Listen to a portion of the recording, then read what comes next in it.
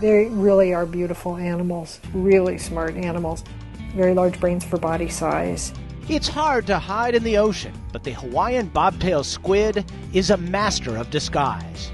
During the day, if they're disturbed from the sand, they'll come out and just sit on the surface with a sand coat on them, trying to be invisible.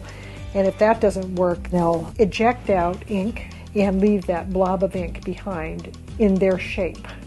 Their camouflage strategy at night is even more amazing. Luminous bacteria actually live inside the squid's body and light up its underside, helping it hide from predators. So they're emitting ventral light. They're camouflaged against the moon or the starlight so that they don't cast a shadow. And so, as not casting a shadow, it's like a Klingon cloaking device.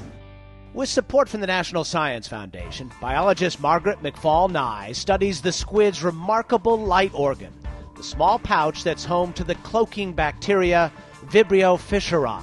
Its structure has a lot of similarities to an eye. We can look at all parts of the light organ, so all parts of where the bacteria go into the light organ and then reside.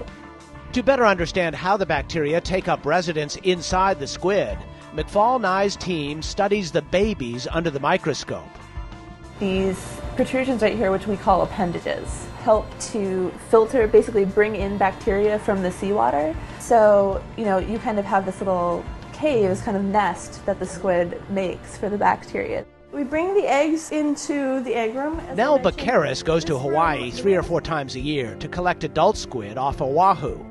Back in the lab, she oversees the squid condos and the nursery. I make the squid every two weeks. A female will generally lay eggs about every three to five days. This clutch is a fairly good size, probably 200 eggs or so. Analyzing this squid bacteria symbiosis could help develop new camouflage materials for the military or lead to new pharmaceuticals to fight bacterial infections at the very basic level, we're asking how animal cells talk to bacterial cells. A conversation worth listening in on. For Science Nation, I'm Miles O'Brien.